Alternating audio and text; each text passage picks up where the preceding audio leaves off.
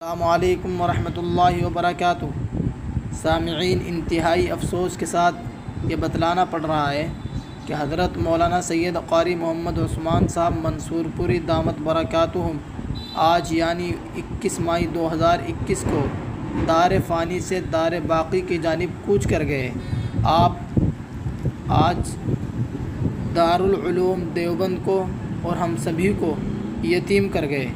آپ کی عمر چھہتر سال تھی، جہاں آپ دارالعلوم دیوبند کے استاد حدیث تھے، وہیں آپ مسلمانوں کی سب سے بڑی تنظیم جمعیت علماء ہند کے قومی صدر تھے۔